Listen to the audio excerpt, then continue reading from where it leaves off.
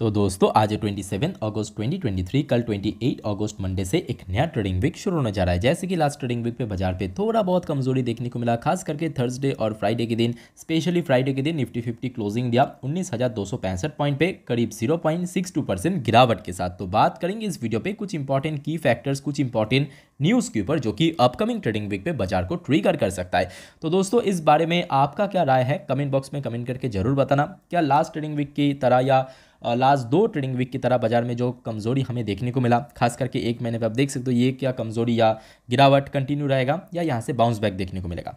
तो जो भी आपको लगता है, आपके अकॉर्डिंग कमेंट बॉक्स में कमेंट करके ज़रूर बताना। अब चलिए एक एक करके जो इंपॉर्टेंट की फैक्टर्स है, आपके सामने मैं प्रेजेंट करता हूँ। तो सबसे पहला and most important key factor कल, यानी सोमवार के लिए दोस्तों रिलायंस की 46 एजीएम है। एजीएम मतलब एनुअल जनरल मीटिंग और इस बार दोस्तों एजीएम बहुत ज़्यादा खास इसीलिए भी होने जा रहा है क्योंकि रिलायंस इंडस्ट्री अपना एक subsidiary company Jio financial service demerge करके बाज़ार पे लिस्ट किया। तो इस बार जो मार्केट एक्सपर्ट काफ़ी ज़्यादा उम्मीद है कि कहीं ना कहीं जियो फाइनेंशियल सर्विस के ऊपर कुछ ना कुछ धमाकेदार अनाउंसमेंट हो सकता है। जैसे कि आप देख सकते हो, यहाँ पे क्लियर कट मेंशन भी किया मार्केट का क्या एक्सपेक्टेशन है। देखिए new segment wish to enter by Jio financial more updates on five G roll out and new plan progress of various project initiated under the new energy business expert expert से तो ये सारी चीज़ हमें कल देखने को मिल सकता है। तो कल देखिए एजीएम का अपडेट जैसे ही आ जाएगा, तुरंत मैं आपको वीडियो के साथ शेयर कर दूँगा। अब बात यह है कि रिलायंस इंडस्ट्री का वेटेज क्योंकि निफ्टी फिफ्टी में बहुत ज़्यादा है तो कहीं ना कहीं रिलायंस के ऊपर भी कल डेफिनेटली नज़र होना चाहिए, क्योंकि कल रिलायंस के अंदर अगर दो परसेंट या ढाई परसेंट ऊपर पहुँच गया या नीचे गिरावट हुआ तो कहीं ना कहीं मार्केट में उसका इंपैक्ट आपको डायरेक्टली देखने को मिलेगा। तो ये सबसे पहले की जो बोल सकते हो की फैक्टर्स कल तो ज़रूर नज़र में रहेगा। नेक्स्ट अगर हम बात करें इंडिया का क्वार्टर वन की जीडीपी डेटा तो जैसे कि लास्ट क्वार्टर में हमने देखा था कि इंडिया का जीडीपी आया था मतलब क्वार्टर फोर में 6.1 परसेंट इस बार दोस्तों आरबीआई का जो एस्टिमेट है कि अप्रॉक्सीमेटली 8 परसेंट के आसपास नंबर होने का चांस है, यानी काफ़ी अच्छा आएगा। और ये कब आएगा दोस्तों? ये देखिए थर्टी ऑगस्ट मतलब आज हो गया आपका ट्वेंटी सेवेंथ कल सोमवार twenty nine thirty thirty first यानी थर्सडे के दिन दोस्तों आपको ये डेटा देखने को मिल जाएगा। तो आरबीआई का एस्टिमेट इस बार काफ़ी ज़्यादा है एट परसेंट अगर एट परसेंट से भी ज़्यादा हुआ तो कहीं ना कहीं मार्केट में उसका एकदम से पॉजिटिव इंपैक्ट आपको देखने को मिल सकता है, ठीक है? तो मोस्ट प्रॉब्ली एट परसेंट के आसपास ही होना चाहिए। अब बात करेंगे नेक्स्ट इंपॉर्टेंट डेटा है आपके मैन्युफैक्चरिंग पीएमआई जो पी पीएमआई डेटा मतलब बेसिकली कंपनी का एक्सपोर्ट इंपोर्ट हो गया सेल्स का डेटा हो गया, इसको मिला के जो टोटल इंटायर नेशन का क्या पीएमआई वो दोस्तों आपको एक स्ट्रक्चर मिल जाएगा। क्योंकि लास्ट तीन महीने पे हमने देखा लगातार ड्रॉप देखने को मिला। क्योंकि हमने देखा जून महीने पे देखिए 57.8 था। उसके पहले हमने देखा मई के महीने पे, जो कि एकदम पीक में था हाईएस्ट में था 58.7 लास्ट की अगर हम बात करें जुलाई के महीने पे, आप देख सकते हो, ये डेटा 57.7 के आसपास। तो कहीं ना कहीं दोस्तों, इस बार अगर थोड़ा बहुत बेटर हो गया, या बोल सकते हो थोड़ा बहुत गेन किया तो कहने के मार्केट के लिए भी काफ़ी पॉजिटिव एक सिग्नल भेजा जाएगा। तो डेफिनेटली इस वजह से पी जो डेटा आएगा मैनुफैक्चरिंग पी डेटा कब आएगा? फ़र्स्ट सेप्टेम्बर के दिन, यानी फ्राइडे के दिन। इसके ऊपर भी आपका कड़ी नज़र होना चाहिए और सबको मैं एक छोटा सा रिक्वेस्ट करूँगा चलते चलते कि चैनल को सब्सक्राइब करके ज़रूर रखिए। जैसे ही सारे, ये सारे अपडेट्स आ जाएगा, तुरंत मैं आपको वीडियो के साथ शेयर कर दूँगा। अब जैसे कि इंडिया का जीडीपी डेटा आउट होगा, उसके साथ साथ यूएस का भी जीडीपी का एक एस्टिमेट आउट होगा। जीडीपी डेटा नहीं जीडीपी डेटा मतलब नॉर्मली जो जीडीपी होता है वो, उसका नहीं, उसका एस्टिमेट जैसे कि आरबीआई एस्टिमेट किया इस बार क्वार्टर वन पे एट परसेंट का आने का आसपास चांस है। ठीक, वैसे दोस्तों, एक एस्टिमेटन आपको देखने को मिलेगा। वो कब देखने को मिलेगा? थर्टीथ अगस्त के दिन। तो ये भी बहुत इंपॉर्टेंट होने जा रहा है, क्योंकि आपको तो मालूम ही होगा कि यूएस में अगर कुछ भी हो जाता है, चाहे मार्केट में गिरावट या तेज़ी तो कहीं ना कहीं नेक्स्ट डे सुबह इंडियन मार्केट में उसका कहीं ना कहीं इंपैक्ट देखने को मिल सकता है। और लास्ट कुछ टाइम से अगर हम बात करें जी में थोड़ा बहुत प्रोग्रेस हमें देखने को मिला था। जैसे कि आप देख सकते हो कि क्वार्टर वन वहाँ पे क्वार्टर वन ठीक है? मतलब इंडिया का क्वार्टर वन के अकॉर्डिंग नहीं, वहाँ पे क्वार्टर वन के अकॉर्डिंग दो परसेंट के आसपास हमें देखने को मिला था। ठीक है? तो, तो इस बार आशा रखते हैं कि थोड़ा बहुत इंक्रीज होने के चांस है यूएस के अंदर।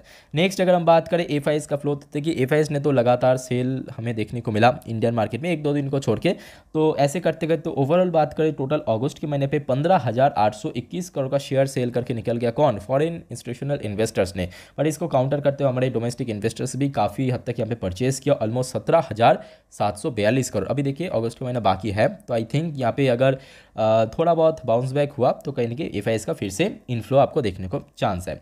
नेक्स्ट अगर हम बात करें अच्छा ग्लोबल मार्केट यहाँ पे हम कुछ इंपॉर्टेंट इवेंट्स को तो हमने बात कर लिया। ग्लोबल मार्केट से दोस्तों काफ़ी पॉजिटिव सिग्नल ही मिल रहा है, क्योंकि लास्ट डे हमने देखा था जैक्सन होल सिंपोजियम में जो फेडरल रिज़र्व की चेयरमैन जेरोम पॉयल साहब तो उन्होंने कुछ पॉजिटिव संकेत दिया कि इन फ्यूचर में या नियर फ्यूचर में अगर इन्फ्लेशन थोड़ा गिर जाता है तो उस केस में जो लगातार रेपो रेट हाइक हुआ यहाँ पे यूएस के अंदर, वो कहीं ना कहीं दोस्तों होल्ड कर सकता है। तो ये काफ़ी पॉजिटिव संकेत के बाद ही हमने देखा। डॉजोन्स के अंदर भी देखिए एकदम से गिरावट हुआ। पहले देखिए एकदम तेज़ी, फिर देखिए अचानक से गिरावट।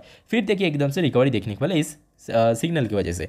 जहाँ पे डॉजोन्स क्लोजिंग था zero point seven three percent ऊपर जाके, और नेस्डेक के अंदर भी ऑलमोस्ट एक परसेंट के आसपास zero point nine four percent तेज़ी के साथ क्लोजिंग देखने को मिला। तो कहीं ना कहीं दोस्तों ग्लोबल मार्केट भी थोड़ा थोड़ा हमें बाउंस बैक देखने को मिला। और उसके साथ साथ हमारे गिफ्ट निफ्टी गिफ्ट निफ्टी भी फ्राइडे बारह बजे के आसपास क्लोजिंग भी दिया। देखिए, उन्नीस हज़ार तीन सौ अस्टासी पॉइंट पे, जो कि निफ्टी फिफ्टी जहाँ पे क्लोजिंग दिया था, उन्नीस हज़ार दो सौ पैंसठ से ऑलमोस्ट सौ पॉइंट से भी ज़्यादा ऊपर लेवल पे। ठीक है? तो ये कुछ इंपॉर्टेंट अपडेट मैं आपको दे दिया। अब बात करेंगे दोस्तों, अदानी ग्रुप के ऊपर भी बहुत इंपॉर्टेंट अपडेट है। चलेंगे बट उसके पहले एक और इंपॉर्टेंट बात मैं बोलना चाहूँगा। ध्यान से देखना। कि मार्केट प्रडिक्शन वाला पार्ट जो कि आज रात के साढ़े दस बजे की वीडियो में डिस्कस करेंगे। साथ ही साथ इसके बीच में भी बहुत सारे इंपॉर्टेंट अपडेट्स आएगा मार्केट प्रडिक्शन वाला पार्ट ठीक है एफएसडीएस का डेटा ये सारे अपडेट हम आज रात की साढ़े दस की वीडियो में डिस्कस करेंगे। तो प्लीज़ चैनल के साथ जुड़े ज़रूर रहना और साथ ही में साढ़े दस की वीडियो ज़रूर देखना। ठीक है, क्योंकि उस वीडियो में आपको मालूम पड़ जाएगा कि मार्केट कल किस तरफ़ मूव कर सकता है? प्रॉपर टेक्निकल एनालिसिस करते हुए मैं आपको साथ शेयर करूँगा। अच्छा अदानी ग्रुप के ऊपर बहुत सारे इंपॉर्टेंट अपडेट है। उनमें से एक तो सबसे अच्छी अपडेट है। ये आज का लेटेस्ट अपडेट अब पहले अब न्यूज़ का आ, ये देखिए अनाउंसमेंट कब हुआ? आज सत्ताईस तारीख दोपहर दो बज के दस मिनट पे। तो न्यूज़ का हेडलाइन कुछ ऐसा है अदानी पोर्ट के लिए खास करके यहाँ पे अच्छी अपडेट है। Adani eyeing Greek port to serve as gateway for Indian export bound for Europe Greek media ने ये दोस्तों मेंशन किया अपने स्टेटमेंट में। बहुत अच्छी अपडेट है। अदानी पोर्ट जो है अपने व्यापार को एक्सपैंड कर रहा है। बाहर इंटरनेशनली एक्सपैंड कर रहा है। ऑलरेडी हमने देखा, श्रीलंका में भी यहाँ पे आ चुका है। और कहीं ना कहीं बाहर की जो यूरोपियन कंट्रीज़ है, वहाँ पर भी एक्सपैंड कर रहा है। और मज़ेदार एक बात बोला, बोलूँ मैं, एक दिन पहले मोदी जी ग्रीस में विज़िट के लिए गया था। तो कहीं ना कहीं दोस्तों, यहाँ पे काफ़ी अच्छा प्रोजेक्ट भी मिल सकता है। फ्यूचर में या नियर फ्यूचर में इसके रिलेटेड तो देखिए बेसिकली एक हिंट दिया है। कोई ऑफिशियल अपडेट नहीं ऑफिशियल मतलब ऑफिशियल अपडेट है बट पक्का अपडेट नहीं है मतलब ऐसा होगा ही।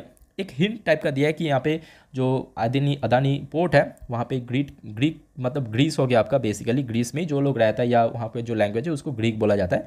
तो वहाँ पे जो पोर्ट है, उसको दोस्तों यहाँ पे ऑपरेट कर सकता है और उसके साथ साथ ऑब्वियसली यहाँ पे अगर वहाँ पे ऑपरेट किया, उसको ग्रीस को बेसिकली गेट ऑफ़ यूरोप बोला जाता है, मुख्य द्वार, ठीक है? तो वहाँ पर कहीं ना कहीं व्यापार करने में भी बहुत हेल्प होगा। ठीक है? नेक्स्ट इंपॉर्टेंट अपडेट तो ऑब्वियसली सेबी की तरफ़ से जो रिपोर्ट का सबमिशन आया तो कहीं ना कहीं ट्वेंटी नाइन तो बहुत इंपॉर्टेंट होने जा रहा है। जिनको नहीं मालूम, मैं थोड़ा आपको यहाँ पे पढ़ के सुनाता हूँ। तो एक्चुअली सेबी के पास टाइम था चौदह तारीख, चौदह अगस्त। तो सेबी ने उस टाइम फ्रेम के भीतर जो कि अपना यहाँ पे जो कारोबार चल रहा था, वो कंप्लीट नहीं कर पाया था। चीज़ पैसे सुप्रीम कोर्ट से हमने देखा था ट्वेंटी नाइन तक मतलब और पंद्रह दिन एक्स्ट्रा मांग लिया था। तो सेबी ने उसके ऊपर यही मेंशन किया कि उसका जो कारोबार है कंप्लीट हो चुका है। अब जो एक्चुअल सबमिशन हो रहेगा सुप्रीम कोर्ट में, देखिए the apex court is scheduled to hear the case on twenty nine August twenty nine मतलब परसों, मंगलवार के दिन। तो कहीं ना कहीं देखिए, सेबी की तरफ़ से अगर पॉजिटिव अपडेट आ जाता है मतलब कोई भी ट्रांजेक्शन से रिलेटेड कोई भी वायलेशन हो गया, कोई गाइडलाइंस या रूल्स ब्रेक हो गया, ऐसा कुछ भी नहीं हुआ तो कहीं ना कहीं अदानी ग्रुप के अंदर एक बम्पर तेज़ी आ सकता है। बम्पर तेज़ी मतलब आप सोच भी नहीं सकते, जिस रफ्तार से गिरा, उससे दुगनी रफ्तार से मूवमेंट ऊपर की तरफ़ आ सकता है। तो जिस वजह से कल से आपको थोड़ा थोड़ा हलचल अदानी ग्रुप के शेयर में देखने को मिल जाएगा। तो कल जिस वजह से अदानी ग्रुप के शेयर और ऑब्वियसली ट्वेंटी को तो ऑब्वियसली यहाँ पे नज़र में होना चाहिए, बहुत ज़्यादा फोकस में होना चाहिए। बाकी दोस्तों, आज रात की साढ़े दस की वीडियो में हम बाकी डिटेल में हम डिस्कस करेंगे। फ़िलहाल इस वीडियो को यहाँ पे वाइंड अप करता हूँ। मिलते हैं नेक्स्ट वीडियो पे। तब तक लेटेक का बाय जय हिंद।